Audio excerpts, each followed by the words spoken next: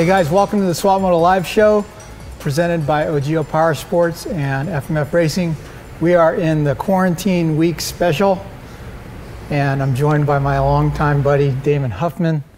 And uh, man, it's been many, many years since I've seen you. How's it? Like 15 Probably. years at least?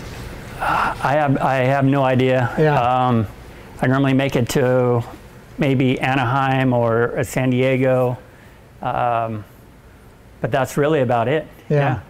Okay, so if you're a youngster like my guy Chase, or if you've been living under a rock for your entire life and just Yep. started liking motocross, Damon was the 94 95, correct? 94, 95. 94 and 95 Western Regional 125 Supercross champ on Team Suzuki.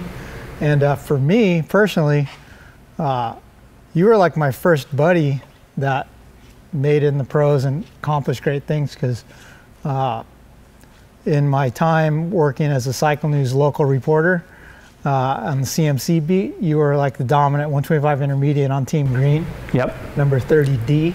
Yeah. And uh, yeah, it was super thrilling for me to see you turn pro, do well in the A class.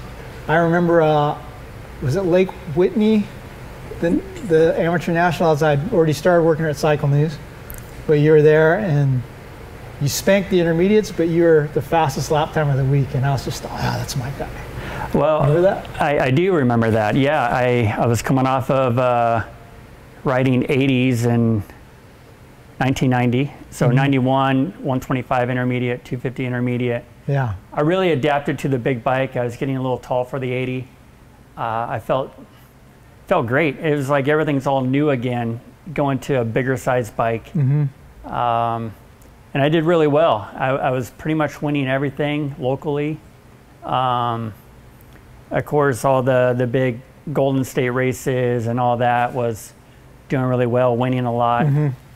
Uh, Lake Whitney yeah, that week I, I loved the track. The conditions were great.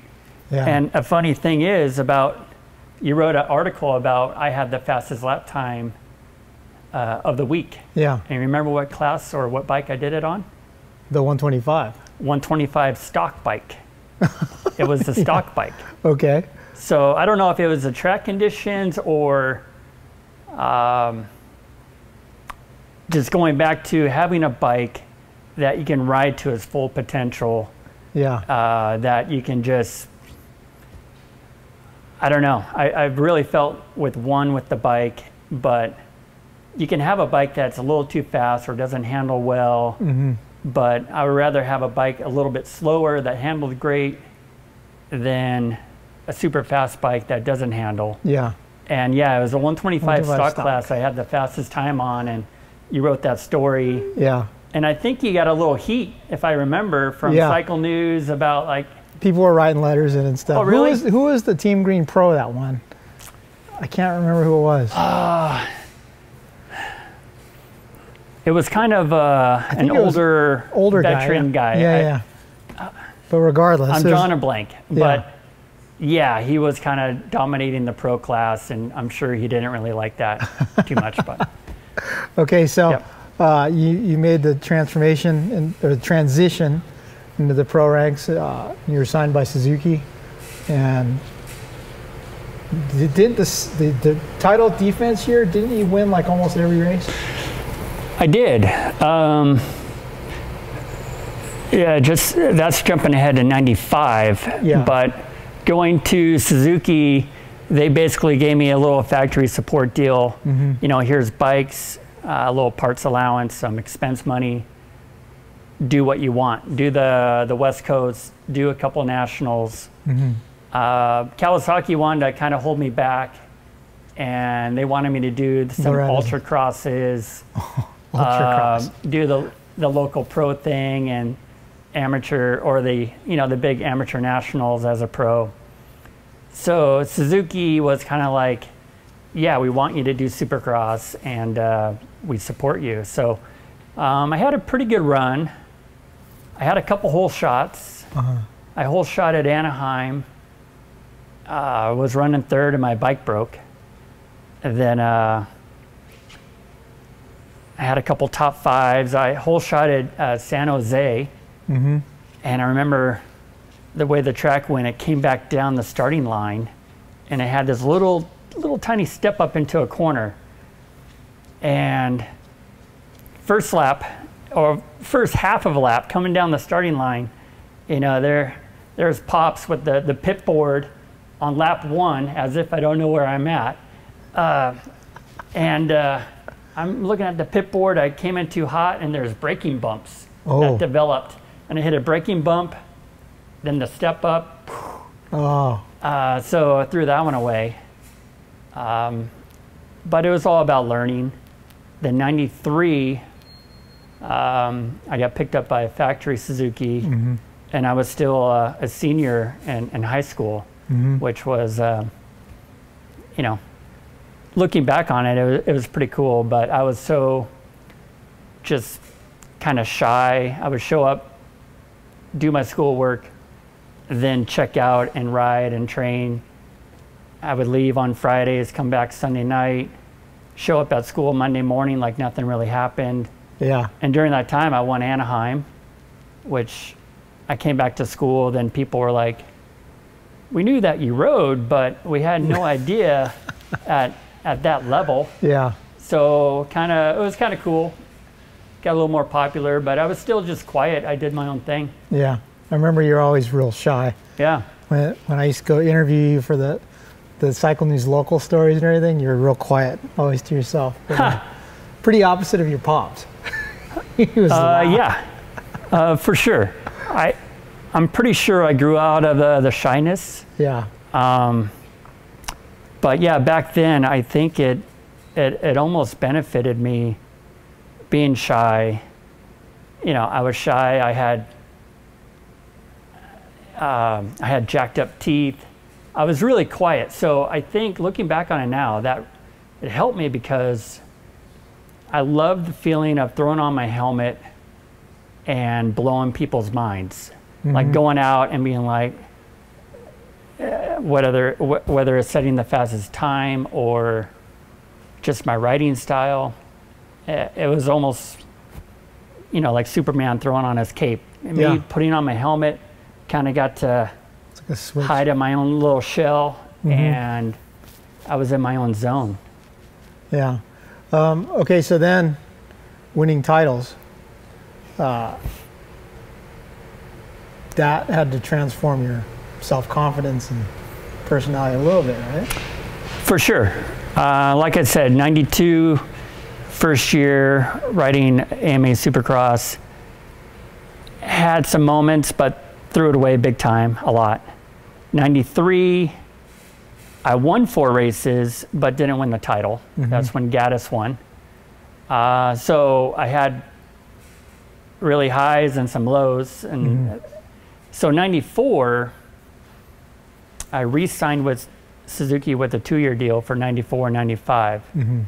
Um, I only won two races, but I was on the podium every race. So I won the title.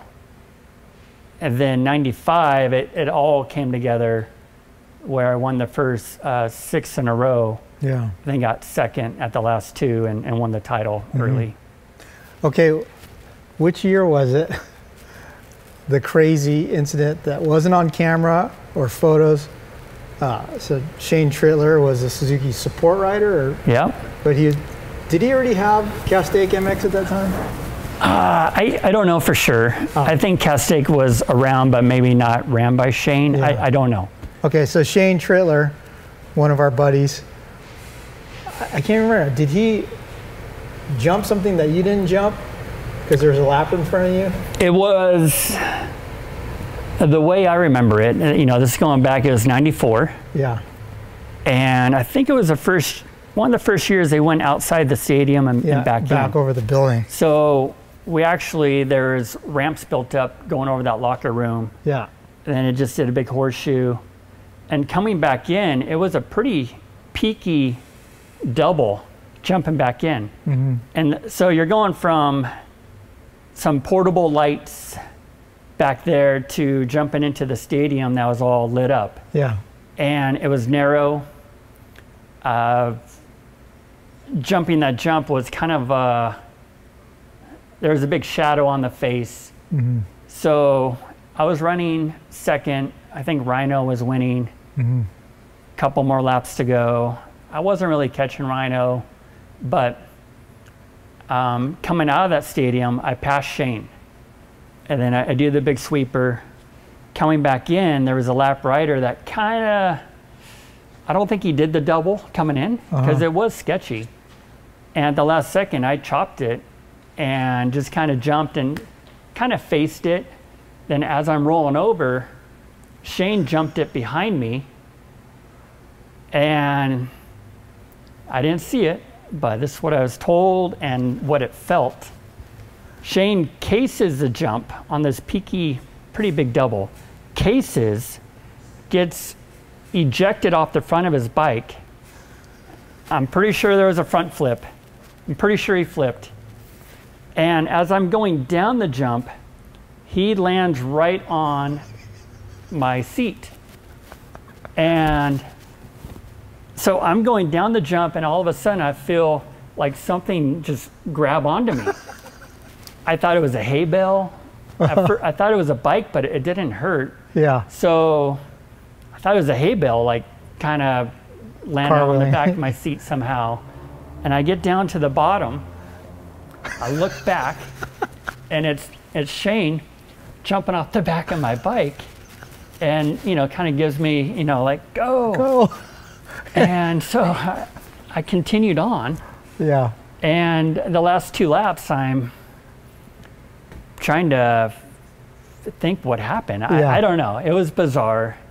Um, Did but there was people that saw it? Though, right? Yes. Saw it happen. yeah, But like, I, it's just unbelievable that wasn't on film. Like, I know. TV yeah, the, at the time the camera was on, I, I think Rhino. Yeah. And uh, I I think Villeman, Villeman claims he's seen it on vid- video before. And I get asked, asked about it every year. Uh-huh. Um, there's been a couple times when at uh, at Anaheim up in the Knothole Club, I I've been there with Shane with a, a group of people telling the story, uh, but you know that's over what over 25 years ago yeah. now. It's pretty funny though that you guys were friends, kind of from the same type of area, right? Same Valencia type area. Yeah, yeah. He, you know, a little bit older than me, but um, I grew up watching him ride or going riding with him. Uh huh. Uh, so the cool thing is, I, I think Shane, that would have hurt, you know, f- casing that jump and flipping off and landing on that ground. Yeah. So it was cool that w- we both got to ride away. Still, But, has yeah. to be the craziest crash. Pretty, Or- pretty crazy. yeah. And uh, for sure, it's just going to go down and, you know, folklore, Yeah. you know, It's almost like an urban legend, right? urban legend.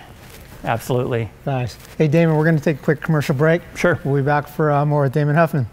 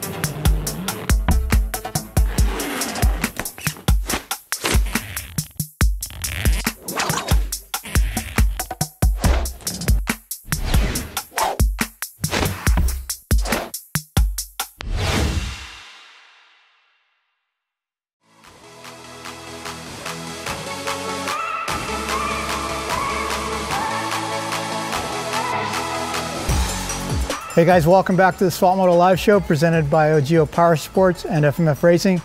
Joined today by Damon Huffman, the uh, 94 95 125 Supercross champ. Um, after the second title, it was the big jump to the, the 250 class. And uh, you went to Kawi straight off, right? Or was there a year on the 250? Nope, straight to straight to Kawi. Um, kind of came about. I, I was talking with Honda and Kawasaki. I don't think, um, I don't know about Yamaha at that time, and and Suzuki. I, I had some issues with the the RM250. I, I did some East Coast rounds Mhm. on that bike, and uh, never. I don't know. It. I, I had some some some big crashes on it, mm -hmm. but their 125 was always great Yeah. And and I knew, uh, and we did a lot of production testing on the Suzuki for '96, Mhm. pre-production testing. So you knew Which- what was coming. Yeah. Funny story about that.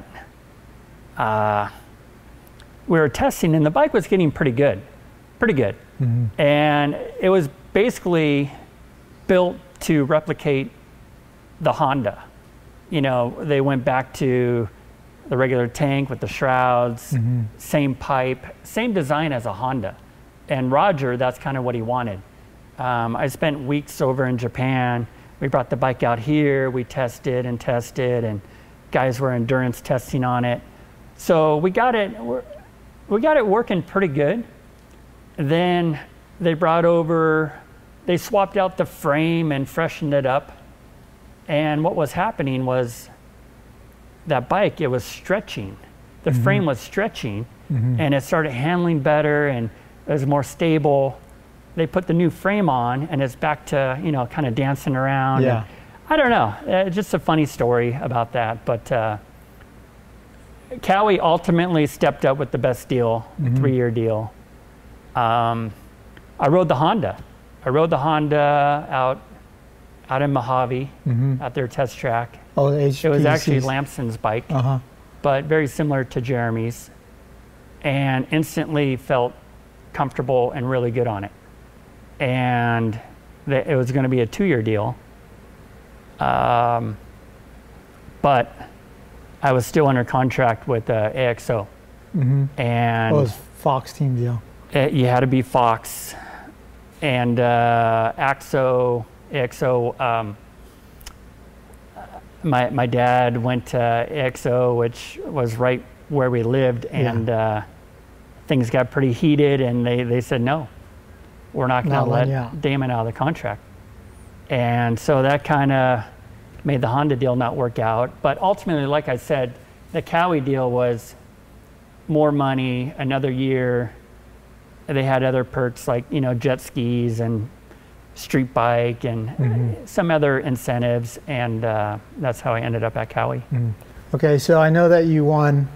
Was it Atlanta? Atlanta. Atlanta '97, right? Yep, Um, but there were several other opportunities for you to do really well, right? yep. Um, looking back now, what kept you from winning more than one race in the 250 left? Uh, injuries. Yeah. Yeah, 96, coming into 96, the bike was, it was awesome. We had a great team with Emig and Ryan Hughes. Um, the bike, I, I still call it one of my favorite bikes of all time, that Mhm. 96 Kawasaki. Um, yeah, I loved it. Everything was working good, and that year I had four second place finishes behind Jeremy Mhm. and even you know the Seattle race where uh, passed him a couple times and we went back and forth and my clutch was fading and um, I think uh, you know because of that I stalled it. Mhm. Then the very next week I had one of the first adjustable clutches uh, on a supercross bike. So they uh, the team was great. I the bike was perfect. Uh, kind of bad starts. Mhm. Um, you know, no starting device back then, yeah. which I think that's what they should go to now. Because everyone's locked in and everyone, I don't know. I liked it. You know, you had to really fight the thing wheelie in, and Yeah. so I uh, I had a bad injury in Tampa where I, I crashed bad and I tore my ACL and uh, had surgery. So there went that year in '96. Um, I remember after that Seattle race, coming into San Diego, I was so fired up and confident I was going to beat Jeremy. And I, I had a, an okay start, and Ezra took me wide, like one of the first laps, took me wide, and I went into the hay bales and fell and still got up and did well. But um, I was so motivated, and I knew I knew I was going to beat him. Just a matter of time. And the what one day practicing, I had a, a bad endo where I, I nosed into a jump and I hurt my wrist.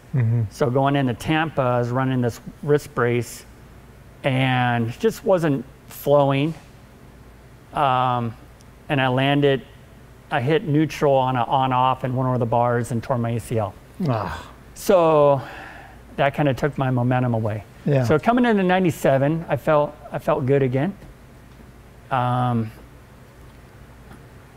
which one thing I I kicked myself about about is uh, the '97. If in '96 my bike was so perfect, why did I change it up and do run a different setup and different engine spec and suspension setting uh, in '97? Um, I should have just stuck with the same bike, and that's what Emig did. Ryan, Rhino, and I were out there just grinding away, trying to, you know, improve the bike, and a little pressure from you know Kawasaki to run you know newer stuff, and it, I never felt as perfect with the bike as I did in '96.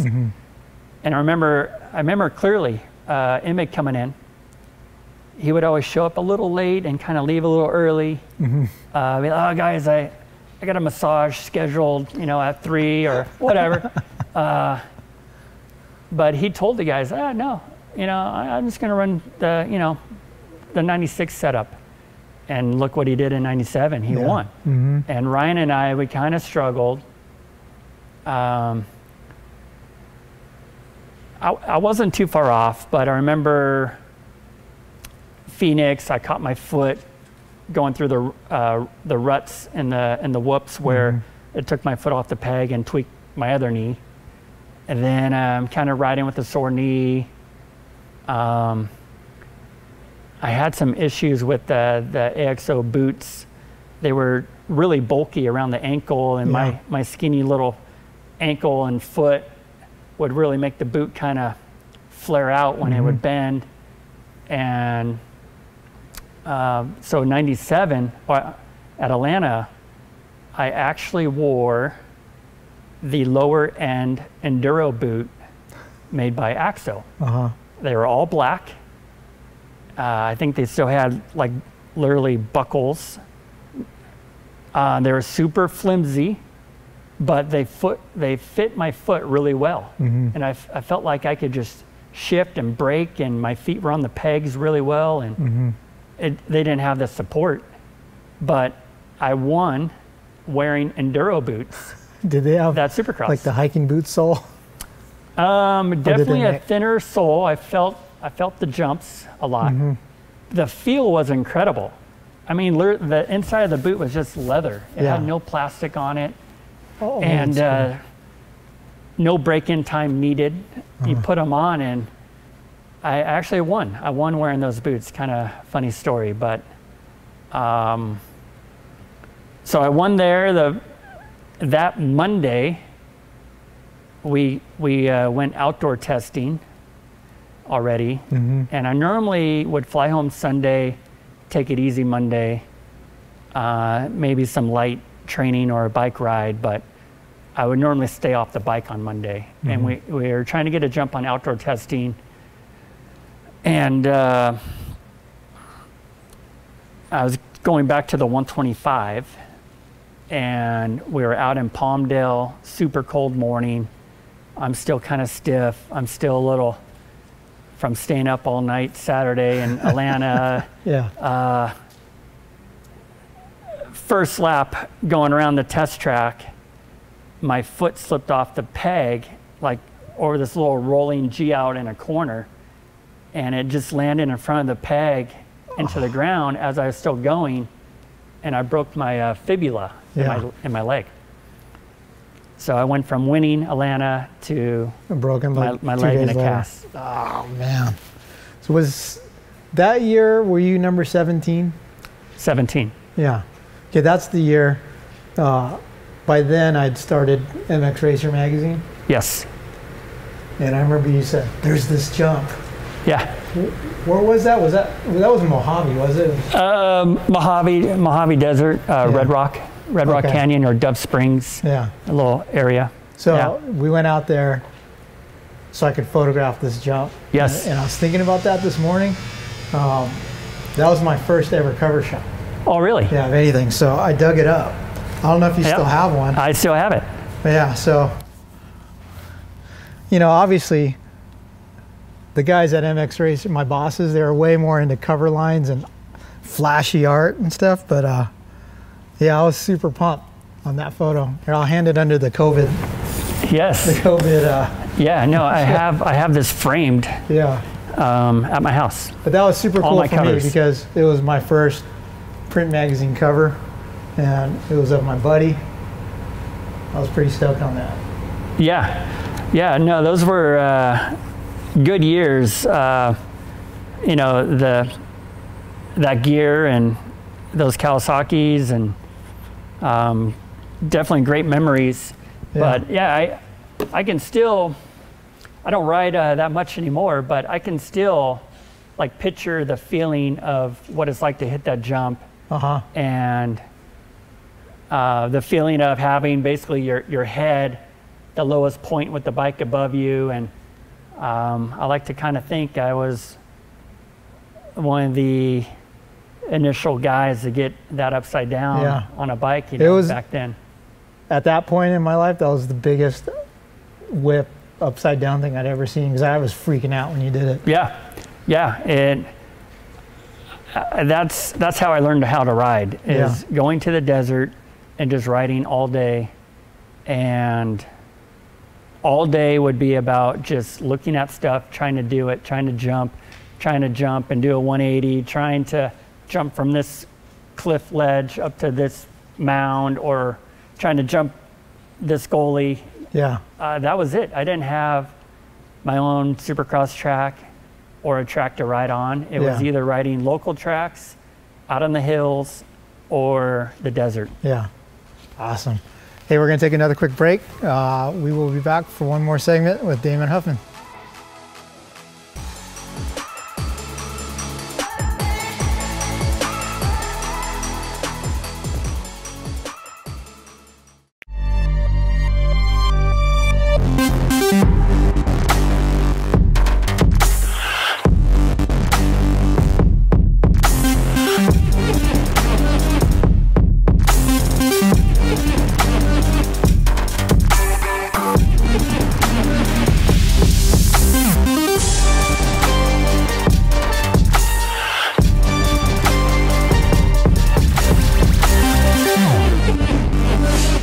Don't try to be the fastest on the track Be the fastest ever.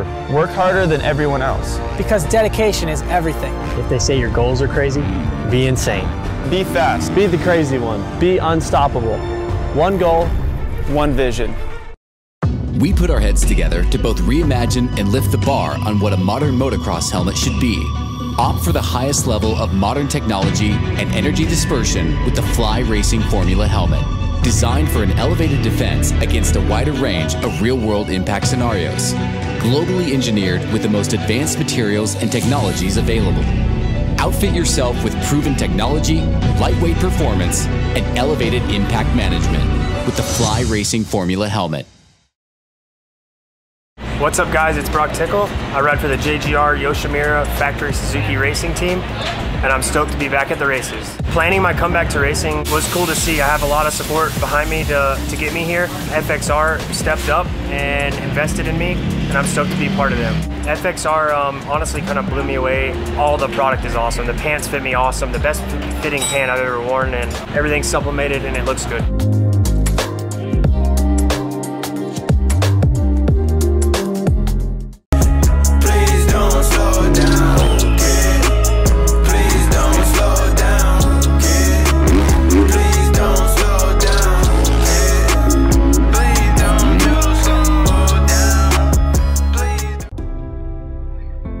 Hard to put our adventures on hold, but now is the perfect time to prepare for their return.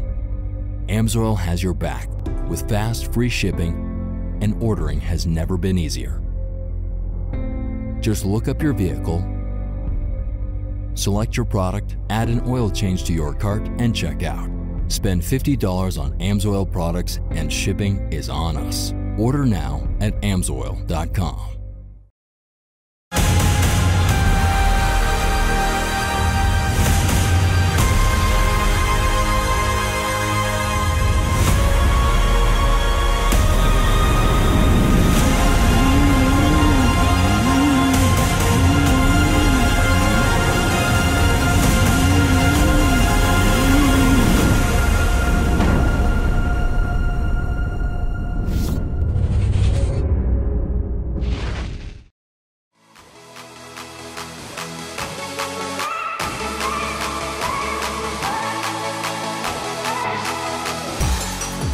Welcome back to the Swap Moto Live Show presented by OGIO Power Sports and FMF Racing. Here with Damon Huffman. So we were just talking about uh, the injuries right after the uh, right after the big breakthrough win in the 250 class. But uh, jumping forward a little bit, um, you transitioned into off road. I did. Retiring from motocross, Yes. supercross, right? So, Yeah. uh, what enticed you to go that route? Huh. Uh, well, I, I've always loved riding off road. Yeah.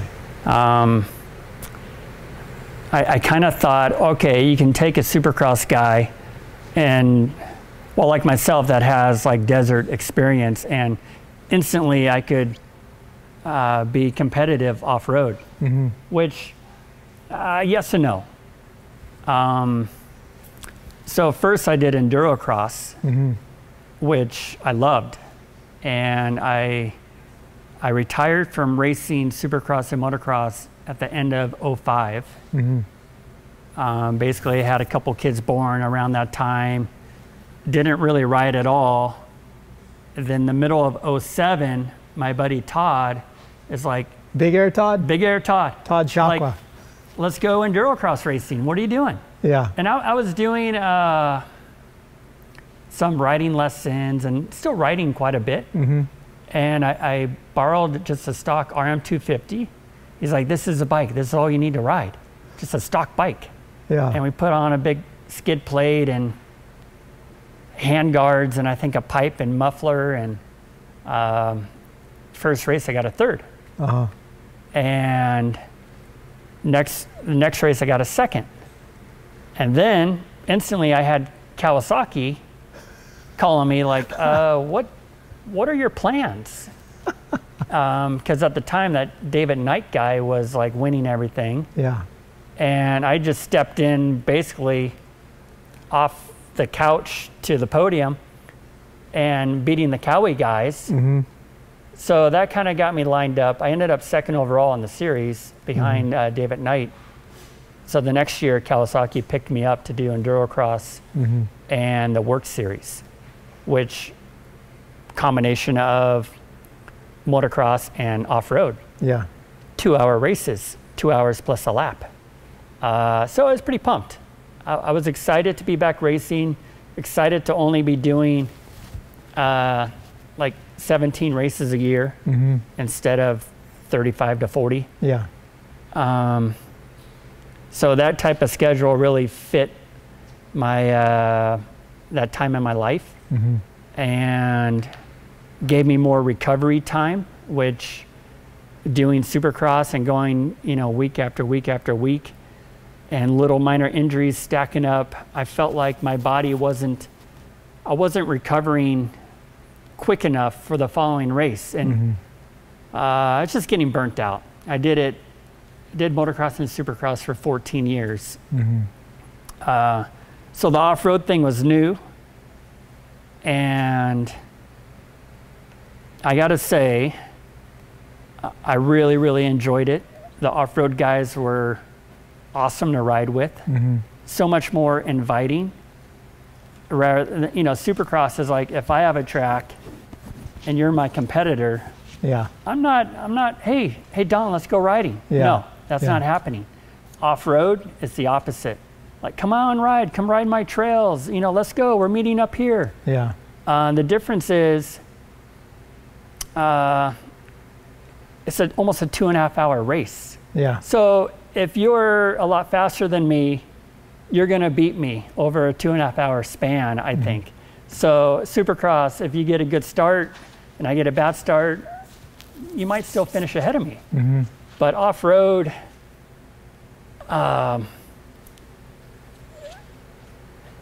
off, I'm, I'm going to say it, is gnarlier than supercross and motocross.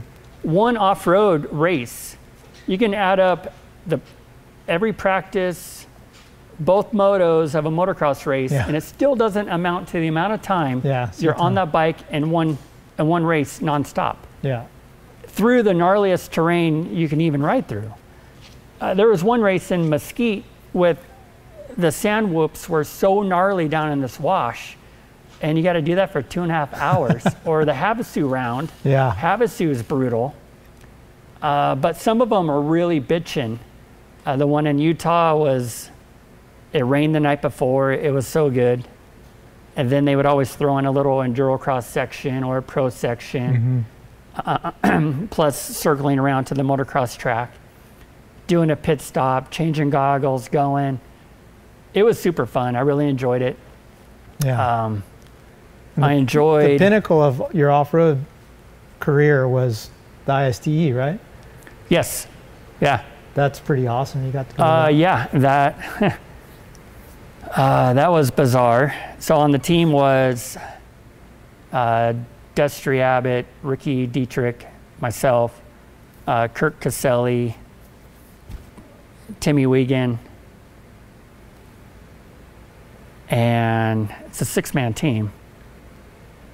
And you. What's that? Aren't you the sixth? Oh, me. All right, there we go. Yeah. so yeah, six of us, but they only count the top four scores of the day, mm-hmm. and the change in the tires. You know, you got about 15 minutes to do everything at the end of your your day, and that's what stressed me out the most. Yeah. And uh, riding with uh, uh, Kurt Kurt Caselli, which every time I rode with him, he blew my mind with his his skill. Uh, just totally different approach to riding compared to, you know, I still had like a supercross mindset. Uh, The way he trained and did drills, uh, even with all the experience I had, uh, looking up to Kurt and seeing what he's doing was like kind of eye opening. Uh, he was amazing. Um, I, I, you know, I miss him and think about him a lot. But watching him ride, we would leave from his house and go riding up in the hills, and there was this uh, piece of wire, a wire fence with a hole cut in it, and he would ride up to it. And he had a little tiny berm that he would bank off of, but he would ride up to it, drop the bike while moving, you know, like in Go first on. gear, drop the bike, get off the side of the bike. I mean, my bike wouldn't even fit under the wire. And he would he would ride, drop under it, and keep on going. And I feel like, there's no way I'm doing that. uh, I would ride up to it. I have to like get off the bike and like drag my bike under it, and then go Yeah. but just hill climbing. Uh, there's a number of times we would get down in a canyon, and Kurt would come down and ride my bike up. I, and I thought I had, I grew up my whole life riding in the desert, Yeah. but just another level. Um, uh, but riding with him and Kyle Redmond and Todd in the desert really helped my results in uh, the World Series and Endurocross. Okay, so the thing I've always wanted to hear about since I heard about it was like your life after racing. Yeah. You're LAPD now. Yes. Like from the shy, quiet kid, you know, I developed my early years of my career with, to think of you as like a police officer now it just kind of blows my mind. how, Uh, how did you get into that, or what made you take that route? Well, yeah. I don't know. It, it just sort of happened. You're like, how does that happen? Well, after racing, basically at the end of 09 and doing the ISDE was kind of my final event. And that, that was a, a great experience. Um, I earned a gold medal in my class, which doesn't mean I won my class, but I finished within a certain percentage of the winner of that class. Yeah. Uh, pretty happy about that. That was really cool. But after that, I went to uh, EMT school. Uh, my plan was to be a fireman. I knew, see, uh, when I was running, winning races, my win bonuses were 5,000 from Suzuki. When I won Atlanta, I got 7,500 bucks. My biggest payday was the U.S. Open, 100 grand Hundred grand, yeah. but uh, it, wa it was much uh, way different back Yeah. then in the 90s. So I made great money for the time, Mm-hmm. enough money to kind of get me set up in life and comfortable, but not enough to just be like, okay, I'm I'm Retired. retired. Yeah. I'm good. Yeah. Not not living in California with three kids. Mm-hmm. So I knew I wanted a second career. I I looked very briefly into staying in the industry, but I didn't want to travel anymore. I did it a total of Your whole life. 17 years. I didn't want to get on airplanes and rental cars and hotels and um, I didn't really want to be a, a some sort of rider rep guy. Mm-hmm. I didn't really want to ride anymore. I was kind of burnt out on that, needed a little break.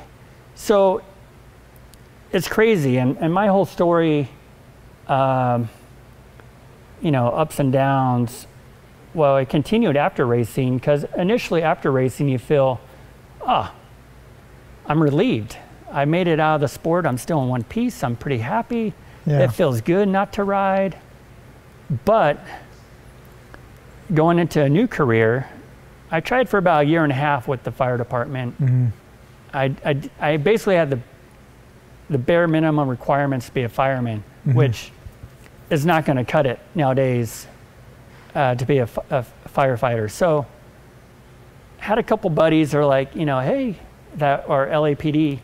They're like, LAPD, they're always hiring. And I'm like, uh, no, I, no way. and one family friend, he's like, you're exactly what they're looking for. And I'm like, how could I be exactly what they're looking for? And he's like, uh, you have a clean record. You've never done drugs. You know how to perform under pressure. You have great life experience. You're a family guy. Financially, you're, you're sound.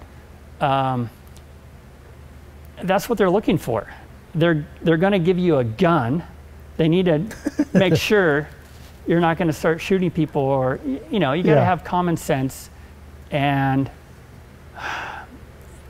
just be a, a good person who wants to do the right thing Yeah. to do the job. And he's like, they have a motocross team, they have a golf team, you can do cycling. There's 250 different jobs you can do on the department. So it kind of got me thinking. Um, at this point, I've already almost gone two years without really bringing in any money. Yeah. I've been doing writing lessons and still some little things on the side. But the clock was kind of ticking like, well, I, I got to do something, you know, right? Yeah. Yeah. And so the first step is a it's a written test. They want to make sure you know how to you know how to print, you know how to spell, you know how Yeah. to form sentences, you know how to make paragraphs. I mean the bare minimum requirements, right? Uh, then you go in for like your initial like background investigation, and it, it was a long step. It, it took almost a year. And then uh, I remember getting the call to report to, like in a couple weeks, to the you know academy class starting, you know, in February, and kind of deep down inside, I was hoping. I was almost hoping it wasn't going to happen, because I was like, "Is this really happening?" Yeah. And so, you know, the night before, I'm like shaving my head, you know, getting my boots shined and uh, showing up. I was 35 at the time, too. And uh, just showing up. And the, the first day is what they call, uh, you know, the black line. And it's the drill sergeants and other instructors trying to get you to break, trying to crack you and it, you know, I hated it, mm-hmm. but I'm not a quitter, and I knew eventually I would be where I want to be, and I, I just got through it. Yeah. So, what sort of work do you do? I mean, are you like responding to robberies and Nope, not anymore. I, so I, I, I got through probation. I did my probation at Rampart Division, which uh, is not good. It's not that's a good a area. rough? Yeah. Um, they were harder on me because, you know, the police chief is Charlie Beck at the time, who's a motor, motor Yeah. motocross guy. So everyone thought You'd I'm only here because yeah. of the chief Yeah. and I never met the chief, never spoke to him. Um, yeah, I think he knew about me, but so I mean, from day one, it it is let's get this guy fired, basically, Mm-hmm. and it's uh, you. It was it was very difficult. It I was not in my element Mm-hmm. honestly, I, I still, I still consider myself a, a motocross guy. Yeah. I, I think of myself as a moto guy than than a cop. Yeah. Um, it's a job. I'm grateful for the job, but so I, I got through probation. Literally, uh, I did not. Uh, I hate it every day. Every day Yeah. but thinking long term, I knew where I wanted to, to get. So yeah, I did my time on probation. Then I worked. I went to a traffic division where I was mainly handling traffic accidents, uh, ticket writing, uh, drunk drivers, and that was kind of eye opening. But I liked it better because I wasn't going to, you know, the robberies, the shootings, the stabbings, the domestic violence, all that stuff, uh, which I don't like dealing with that stuff. Yeah. It, it takes a, a different person. And coming from my moto background, I went into a world where everyone hates you. Yeah. you. Your training officers treat you bad and hate you. Your sergeants are drilling you. You know, they would say every day you better have something to say during roll call. And I don't know, I got through it, but the traffic division was better. And now I'm on a I'm on a motorcycle. Oh, So yeah, I'm on a BMW and I do traffic enforcement Yeah. and race around the city and uh, get to ride the bike to and from work. Uh, so You have more it's better now. more skill on that BMW motorcycle than your fellow officers, I assume. Uh, yeah. Okay, through your years in law enforcement, what's like the craziest, gnarliest scene you had to be a part of? Um, well, I've been on, you know, when I was working patrol, just uh, uh, shooting calls where you know the suspect's still in the area, or uh, respond to, uh, you know, just like a loud party, and you, you get there and it's like 20, 20 gangsters, and Oh. you're you're you know guns out at gunpoint, pulling everyone out one by one, searching them, handcuffing them. Yeah. You know, you're calling for backup to get it all done. Uh, I, I've been, I, I think I've been pretty lucky. There's, there's some officers, they always get into a bunch of, a bunch of shit on the job. And I kind of, Weave your way through. yeah, I, I seen my share Yeah. of you know having to put out a backup or fighting with a such suspect and you know handcuffing them and stuff. But then working traffic, you see you know fatals, fatalities, and uh, seeing you know body parts or guy's head run over by a truck.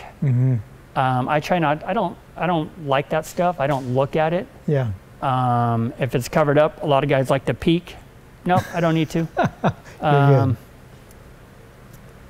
and now, now it's it's just being smart. You're more exposed on a motorcycle, and number one is just getting home safe. And uh, so it's just being smart, trying to be smart with who I stop, where I stop them, what type of people are around, just being aware of your surroundings Yeah. and watching out for cars, just staying alive out there in the streets. Yeah. It's a Texting is a big I never problem. really rode a street bike a whole lot, but um, so you see a lot. You're I'm aware of. You have to be. You have to anticipate and just be aware of everything around you at Mm-hmm. all times. Yeah. Okay, so last question. Do you still ride right now? Like I know you ride a street bike, but like do you do you derive enjoyment out of riding a dirt bike here and now or is it all mountain biking? Uh, it's mainly mountain biking. Mountain biking and and golf is kind of what drives me. The the dirt bike, uh, of course, being around in, in this environment, it it gets me uh, the itch. I still ride. I still have the mindset of every time I'm driving in the car or even on my police motorcycle, of like, look at that cliff. Uh, I could I could go up that. Or so it's still in me. yeah. I haven't rode in about a year. I've gone on a couple Boy Scout trips and where I'll borrow a bike and you know we'll go camping in at Glamis and uh, I'll still hit some pretty big dunes. Uh, I'll give my phone to my kid. All right, hey, stay right here. Make sure it's clear. But I'm going to come over here and land over here. Okay? Okay. then the other dads are like, what's he going to do? And, uh, you know, I've already sized it up. And uh, so that, that's kind of fun. But every time I gone, the dads are like, you know, ride the bike. And I'm like, well, I want to go in the, I want to go in the Razor Yeah. but well, you know, there's eight of us, uh, but we have the bike for you, and uh, okay, I'll ride the bike, you know. But Yeah. I don't have any interest of really going to a to a track and burning laps. Yeah. I feel uh, no reason to do that. Yeah. But just trail riding or the desert or uh, my buddy Todd was showing me pictures from Bean Canyon. They were riding the other day when it's all wet, Yeah. and it doesn't get better than that. Yeah. Yeah. Okay. We've been heading out to that area recently, so I'll make sure I call you next time. Yes. We've got a couple extra bikes. Got two off-road Huskies over there, Okay. hand guards, kickstands, Electric start. electric start. yeah. Well, hey, David, man, thanks for coming on. It was awesome to catch up, and it was a pleasure watching your rise to the top of the sport. And uh, I was always proud to call you my buddy. Yeah. No. Thank you so much, and I appreciate appreciate uh, all the stories you you wrote with about me back in the day, and uh, it- it's always great to to talk about it and kind of catch up and relive it a little Yeah. bit. I I like it. Yeah. All right. Hey, guys, thanks for watching. Be sure to uh, bookmark swapmotolive.com on your browsers, and uh, we will see you next week.